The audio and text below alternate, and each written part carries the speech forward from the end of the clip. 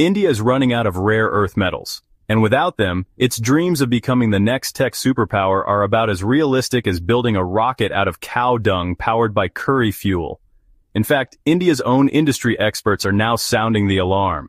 The Federation of Indian Mineral Industries just issued a blunt warning. The country is facing a severe shortage of rare earth elements.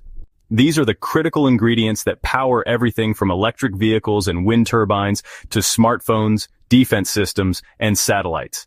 Without them, industrial growth just stops. You're basically set back 100 years. And here's the worst part. India barely produces any.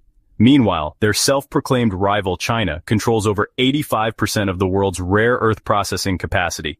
It dominates the entire supply chain, from mining to refining to turning those raw materials into usable products. And guess what?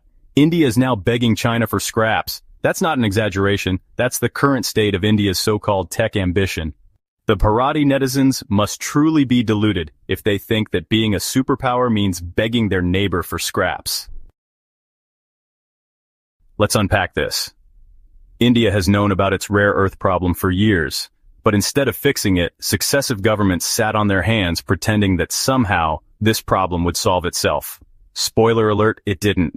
Today, the global rare earth supply is under tight control, mostly by China with some marginal production coming from countries like Australia and Myanmar.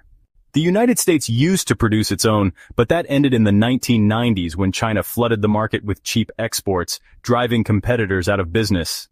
And now in 2025, that old dependency has come back to haunt everyone, especially India. You see, India does have some rare earth reserves, especially in states like Tamil Nadu and Andhra Pradesh. It's estimated that they have around 8% of the world's current proven reserves. But here's the catch. India doesn't have the refining capacity. Mining is only half the story. The real value is in processing. And guess who holds a chokehold over that part of the supply chain? Yep, China. And China's not just sitting on this advantage, they're using it. During the Trump-era trade wars, rare earths became a geopolitical weapon. In 2019, when the U.S. threatened more tariffs, China hinted it might restrict exports of rare earths to American companies. That single warning sent shockwaves through markets. Tech firms panicked.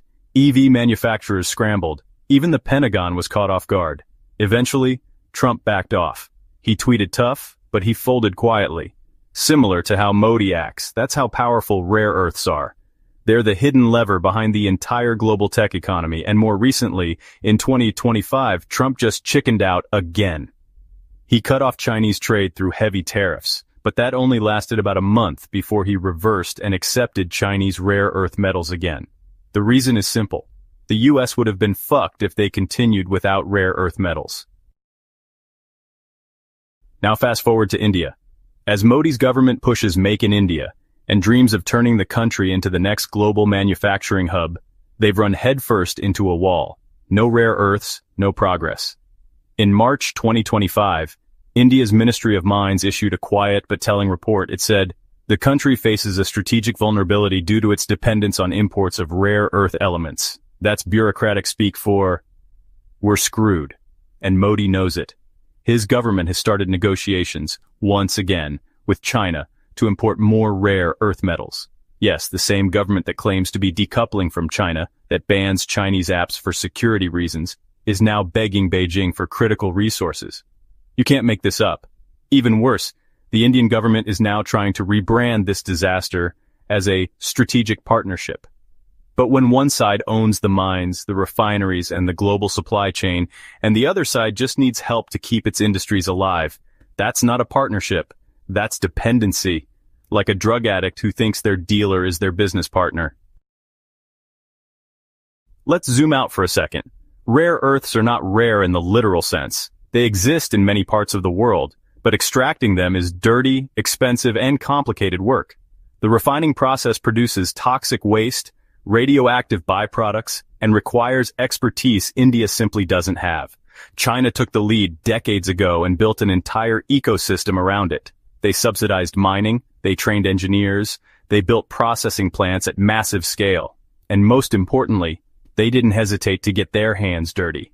India, on the other hand, endless red tape, environmental clearances that take years, lack of skilled labor, and a bureaucratic maze that chokes any industrial project before it even begins. That's why even today India exports its rare earth ores to China for refining. It's like digging your own food, handing it over to someone else and then begging to buy it back at five times the price. And other countries are moving ahead too. Australia's Lynas Corporation has scaled up its rare earth production massively. The US is reopening rare earth mines in California. Even Vietnam is ramping up production with help from Japan and South Korea. And India? Still issuing reports? Still stuck in bureaucratic nightmare and red tape hell. To be clear, this isn't just about rare earths. This is about how India repeatedly fails to execute when it matters most. Whether it's semiconductors, defense technology, or, now rare earths, India's talk is big but its follow-through is broken. We've known that for decades now, India loves talking. Modi may love photo ops at tech summits and ribbon-cutting ceremonies, but the hard policy work, building infrastructure, investing in scientific expertise, cutting red tape, that's where the Indian state collapses under its own weight. Meanwhile, China isn't just holding the keys to rare earths, it's innovating. It's developing recycling technologies for rare earths. It's investing in deep-sea mining. It's locking down supply deals across Africa and Latin America. China isn't thinking about the next election cycle, it's thinking 30 years ahead. India, on the other hand, can't even ensure domestic supply for the next five. Heck, they're struggling with basic things like public toilets and sewage. But here's the truly embarrassing part. India's public sector companies like India Rare Earths Limited do exist, but they are hopelessly underfunded, outdated, and mismanaged.